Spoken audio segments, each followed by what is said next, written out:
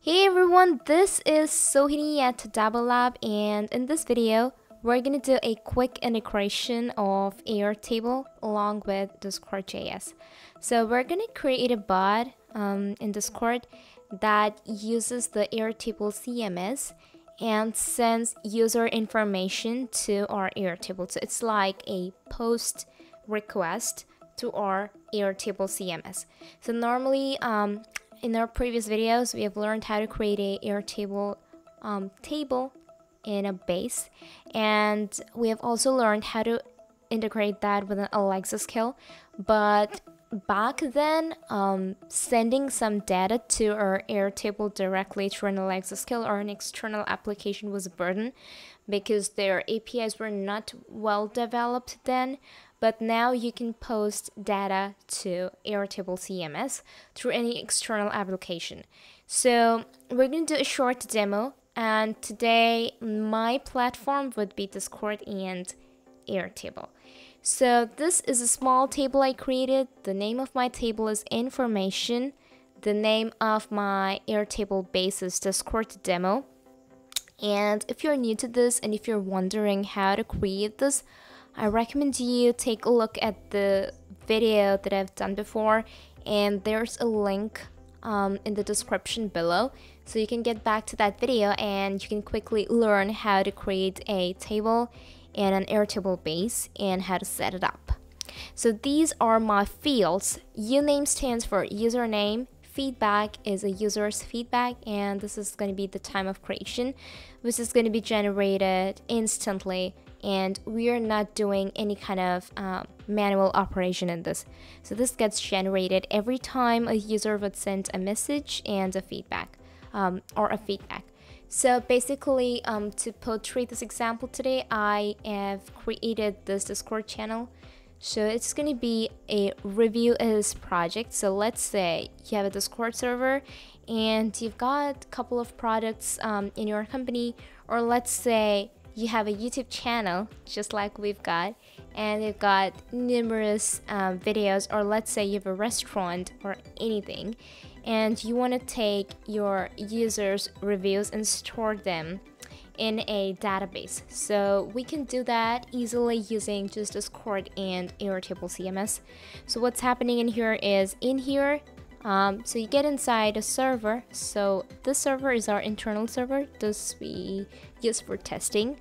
Um, so in here, I have done all these um, bots so far.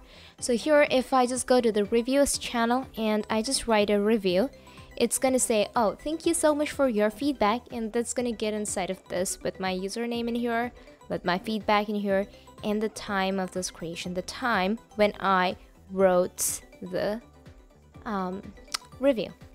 So this gets deleted, but whatever is sent in the review won't be deleted from our Airtable database.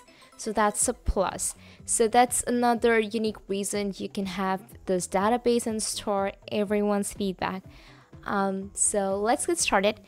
So I think my Airtable CMS is created and my Discord um, channel is created. I also walked through the steps to how to create a Discord bot. Um, if you are not clear with that, you can again watch the video about how to create a Discord bot. That's also stitched in the description below. And do let me know if you have any questions on the comment to this video. Then what we're gonna do is just run this code. I will explain the code, but first let's see how this works. I'm gonna run this it says that logged in as Airtable bot 5619. So this is running. Now I'm gonna go inside my Discord server and I will write Hey Dabble Lab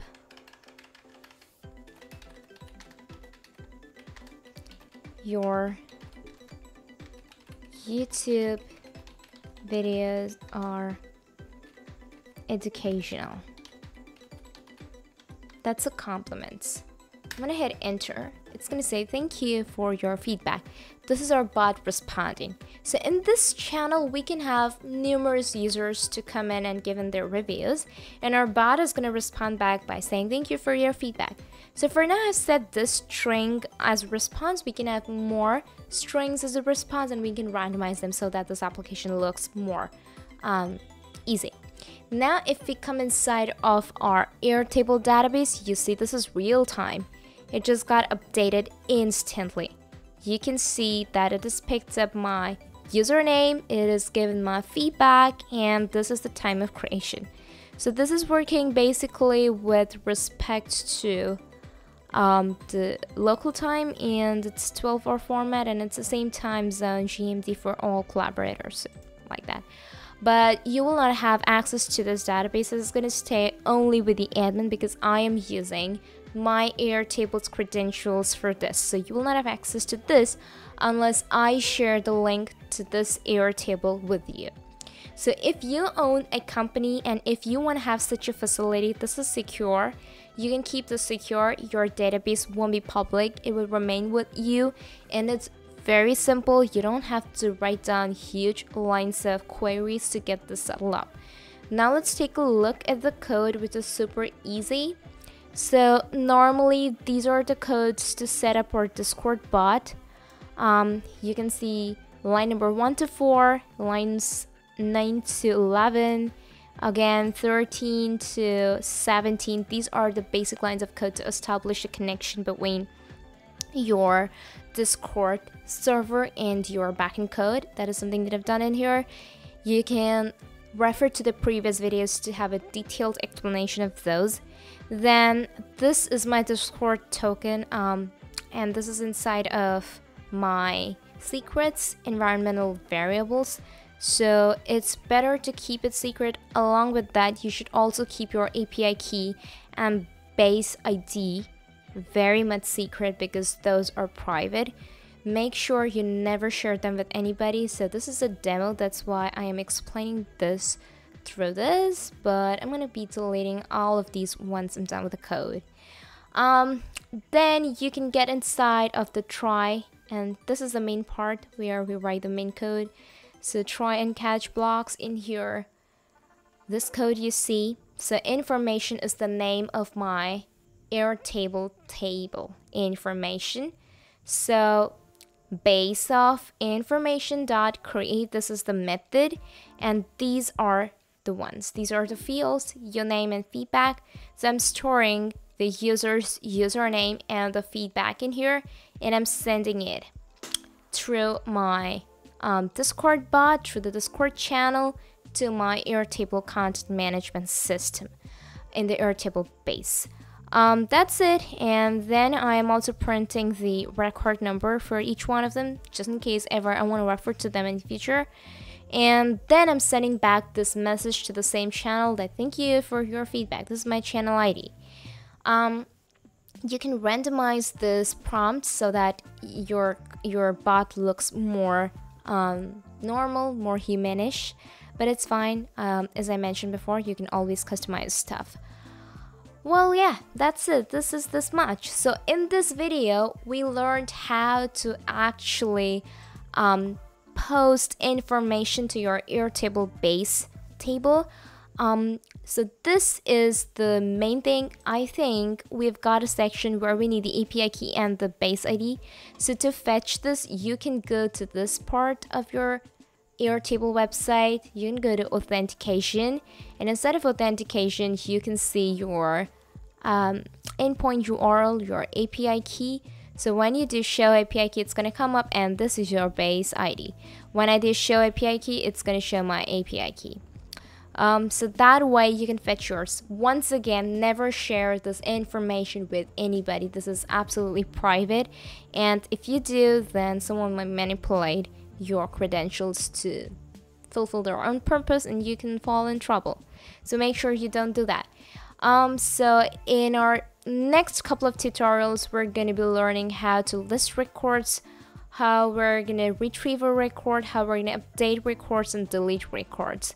But of course, those are going to be admin because we won't give public access to update records or maybe yeah updation is fine. They can just update their own records. And deletion no.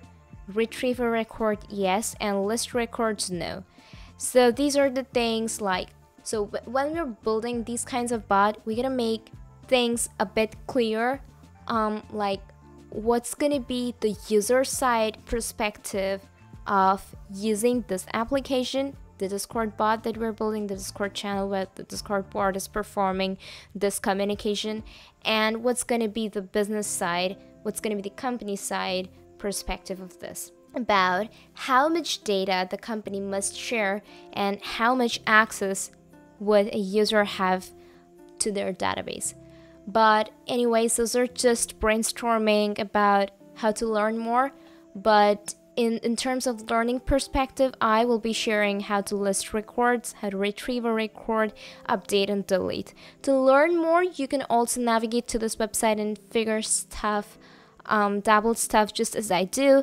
But in case you want me to do, you gotta wait because I'm gonna be coming back soon again in the next video and start something new. That's all for this video. Thank you so much for watching. If you really think that the content was amazing and it helped you learn, do not forget to hit a like, share, and subscribe. If you have any questions, do not forget to ask me in the comment section below. And I will see you soon again in my next tutorial. Till then, have fun, keep coding. Thanks for watching.